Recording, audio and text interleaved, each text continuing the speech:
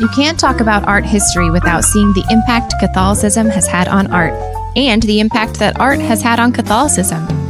It's time for our monthly art history lesson with Charles and Amanda Shepard from the Fort Wayne Museum of Art. This is Kyle Heimann. I'm here at the Fort Wayne Museum of Art with Amanda Shepard, but instead of Charles, we have mm-hmm. a special guest. Yes, we have Elly Tullis with us today. She is a painter of considerable talent, and her exhibition, Theotokos Contemporary Visions of Mary, just opened up November 30th. So we're really excited to give that to the community. And how long will that be on exhibit? That will be on view through March 8th. So you have a long time to see it, but don't let time go by. So, Elly, when did you start deciding that you were going to be painting lots of images of Mary? Uh, I didn't put much thought into it Uh-huh. as far as a series with the first one. I just started the first one January 1st, actually. And then I just kept going with it and um, started talking with the museum and ended up getting a show and putting together a series for it. So What had you painted before this? I had done a lot of portraiture in the past, but um, I had focused on animals recently. I did a body of work of big cats like tigers and Okay. lions. So it seems a little departure from that to get into religious art. Did you see it as Yes. religious art whenever you Yes, did the did. first one? Mhm. Okay. So what inspired that? After my daughter was born, I wasn't getting very good sleep. Uh-huh. And about six weeks into it, she wasn't sleeping good. And I just wanted to paint so bad. And somehow I had saved an image of Mary on my phone in the middle of the night. I'm not sure what prompted me to do it, but I was praying a lot of Hail Marys in the middle of the night for some Uh-huh. sleep those first few weeks. And a moment of frustration, I said to my husband, please hold the baby. I have to paint. And I started painting this image and I thought he's looking over my shoulder going, what is she doing? Uh-huh. She's painting Mary. Why is she painting a religious painting? And he didn't say anything, of course. but um, He knew better. he knew better. That's right. And I don't know. I just, it made me feel better. I felt peace and calm when I was working on it. And then I, after I finished it, I wanted to start another one. So I just kept going. so which one was the first one? Um, it's called Full of Grace. Okay. That one is uh, after Sasso Ferrato.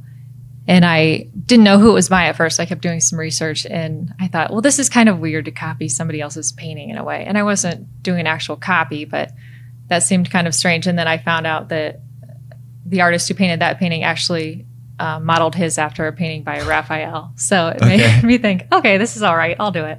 Keep going. So Amanda, is this common in art that there'd be like derivations of works? Oh, absolutely. Uh, You know, artists throughout the centuries have tried to claim that a certain genre is dead or a certain medium is dead. In in the 1950s, Jackson Pollock, you know, claimed painting is dead. Right. There's no more to do. I have concluded the story of painting. and of course, that's not true. So, you know, going back to medieval times and in the Renaissance, every era of artists will claim like this is painting, but yet they're always looking what has been done before them. And then there are always students of the old masters. So for Elly to be looking at the old masters is actually a really smart thing to do because she's not denying the greatness that's come before her. And mm-hmm. she's not saying, oh, well, I'm going to reinvent this and I've chosen the original subject of Mary. Mm-hmm. it's not original. You know, she's been painted for centuries. So, yeah, it is very common and it's a really neat thing to do. I think it's a really humble but smart thing to do as a painter to look at what feats of painting have been accomplished and then come to it with I'm not necessarily going to improve on them, but I'm going to do it in my way. Mm-hmm. So how would you describe the style or first of all, anybody you sent me the the website Mm-hmm. to these and everybody that I've shown is just amazed. I know. They, Yeah, they love too. it and they are dead set on coming to see the exhibit. And I, I think one thing that I see is like, they're so different. Sure. Well, this may sound weird, but I would say it's very painterly. And I think Elly knows what I mean Right. when I say that. Absolutely. She's not trying to hide her brush strokes. You uh-huh. know, a lot of the painters that she references of the Renaissance would try to hide brush strokes for in order for it to look as natural and realistic as possible. And so Try to make it look more like a photo. Sure. th- Yeah. have had at the time. Right, right. And, you know, expressionism really hadn't been introduced in the art world at the time. That really didn't come in until we get into modernism in the 20th century, in the late 19th century. Um, but Elly is an expressive painter, but she's a controlled painter. Um, she moves easily between expressive brushwork and then really sensitive swatches of color to contour the face, which is not an easy thing to do. In some of her paintings, we see spots of turquoise reflected on Mary's face, which we don't see spots of turquoise when we look at each other, but in a painting, it works. And I, I have looked at the one you're referencing right here is sitting in front of me, and I didn't even really notice it until you pointed it out. But when you look at it as a whole, it's very pleasing. Yeah. because you you know, and, and there are um, really nuanced colors in our skin. You know, mm-hmm. we look at our skin and we see a single color, but if you really would look at each other for a long time, you'd see blues, you'd see purples, you'd see peaches, you would see colors that you just don't expect. And it's a painter's job to kind of heighten those and bring it to our attention. Hmm. So, Elly, you find an image that you like, and then what goes through your head? What? Because there are different styles too. It's not just different images, but some of them are a little more abstract, maybe, than others. I'm not sure. Each one was different, like you're saying, but with a couple of them, like these specifically, I had saved um, images of vintage fabrics as well. Uh huh. And I put those with the piece and thought sometimes I would start just by painting the fabric first and then go from there and put the image of Mary over it and then Okay. kind of, you know, Like almost like a collage. them together. Yeah. or something, mm-hmm. but all done with painting. work them together and then let one inspire the other which way which direction the painting would go from there. And then some things are almost blurred out mm-hmm. from the image. So, Yeah. what was the decision there?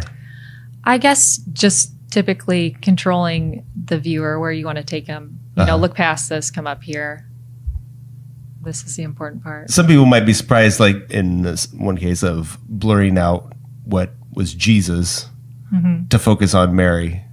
Did that have to do with you being a new mother? Uh, uh, second time over, this is your first child, but that um did that alter your kind of view of Mary and and focusing on her a little bit more? possibly i'm looking for that escapism a, lis- a little bit in um, the time to paint by myself you know a little bit of a break in the piece and then just focusing keeping all the pieces about her and then everything around her and the environment kind of going back behind her Yeah. Kyle, I'd like to add to that. Um, over the course of developing this exhibition, uh, you know, I tried to guide Elly in whatever way I could. You know, she not needing much of my guidance, but also I think it's helpful that an artist can have some outside direction, much like a spiritual director Okay. Um, maybe an objective person who sees something you don't see. And one of the things that Elly said to me is, I just don't understand what Mary looked like. Mm-hmm. You know, she's depicted as a porcelain figure, perfect, um, no expression, no wrinkles. But she was a mother, she was a wife. She must have been tired.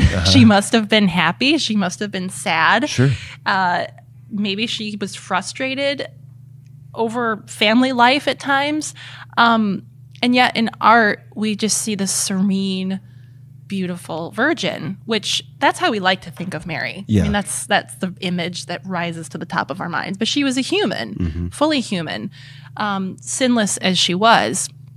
And so I directed Elly to a podcast on Mary, Okay. a Word on Fire podcast, and and she's like, "Oh my gosh, like I so needed this," and it was about the theology of Mary, and I don't know if that helped you any, but I remember there was a key moment when Elly said, "I'm drawn to Mary, but I want to know who she was as a person," and so throughout history. Mary has been surrounded by angels, by the Holy Family, by saints, by petitioners, by holy souls in purgatory. And um, I think Elly is trying to get at the person of Mary and not just the image or the icon of Mary. Yeah. Yes, I would agree with that completely. Thank you. You're welcome. It's interesting though. I don't feel like any of these images to me look like how I picture Mary. None of them I thought, oh, that's what she looks like. What You about know? looking at all of them together? Do you think that gives you a more complete picture, or is it still missing something? Um, it does give a more complete picture, but it was sort of one of those things that kind of the more you learn about Mary, the more mysterious she is. So How did things evolve between just doing this as a whim for the first one to at some point, I'm not sure at what point this became this is going to be an exhibit. And mm-hmm. so now I'm making pieces for an exhibit versus just for some um, kind of internal desire. I'm not sure that I made that distinction in my head. I just kept going Uh-huh. and thinking, well, when I have enough, I have enough. And I, I'm still working on them right now, other pieces outside of the show. So when people come to the show, hopefully they do come to the show, Mm-hmm. anybody listening right now, what would you encourage them to think about or to look for in the paintings? Like what, especially for somebody that isn't used to going to an art museum, is like, this sounds interesting. I want to check it out. What would be some advice that you would have for them? Uh, I guess just reflecting on who they think Mary is as a person, also, and possibly identifying something about her that I don't know that I put in there. Hopefully, a personal, I mean, just to have the time to reflect in front of each piece, thinking about. So, how has making these paintings had an impact on your faith, or maybe how has your faith had an impact on your painting? Um, I'd say I was about 20 paintings in when I started questioning where this fit in personally. I w- went to Catholic school as a non Catholic, uh, never attended church or anything after that, and um, had sort of always kept God at a, a distance, you know, that's close enough, you know. And as I was learning about Mary, I read that her main goal is to bring people closer to her son. And I thought, whoa, not not me. You know, maybe I'll just stop at Mary. Yeah. And I that clearly turned out to be not an option. But I was inspired and I just kept reading and learning and started praying a lot. And um, I'm now joining the Catholic Church. So wow.